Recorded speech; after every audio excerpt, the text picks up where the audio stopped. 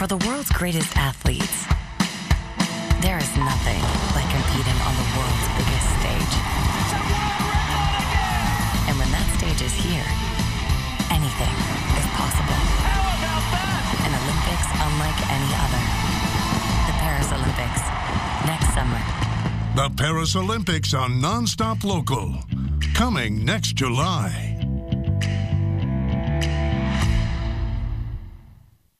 Uh, the Hermiston Bulldogs travel to Yakima to take on the West Valley Rams for the SWX Game of the Week. It's Friday, September 29th at 7 o'clock. See it live only on SWX. Brought to you by these fine sponsors. Weather is the one thing that affects everyone every day.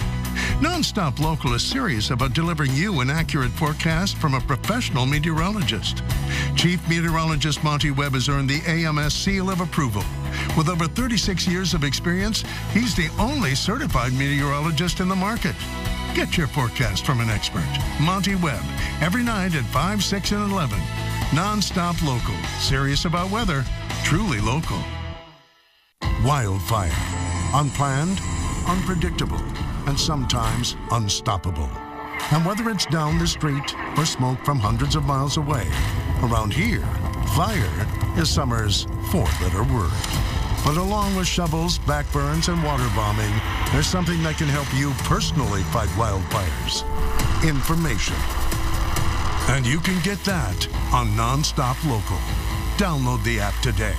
We're on it. Want to know what's happening where you live, but you're not where you live? Hey, we've got you covered. Got phone? Got news. Nonstop local Tri Cities. We're on it.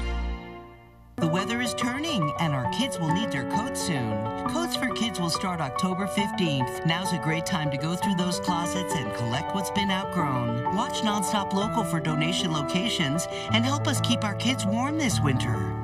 Tune in 7 a.m. Saturday on KNDU for your Home Maintenance Minute, presented by Roof Maxx, the roof replacement alternative that saves you thousands. Think you need a new roof? Think again. Roof Maxx. At Nonstop Local, our commitment to our viewers is homegrown. Well, I am a Washington girl, but I originally moved to the area to go to Central Washington University and play volleyball for the Wildcats. And while I was there, I was news director for the on-campus radio station, and that's really what sparked my love for journalism was telling the stories of the community. And I thought, what a better way to do that than at a truly local station. For us, it's not just a slogan. Nonstop Local is truly local.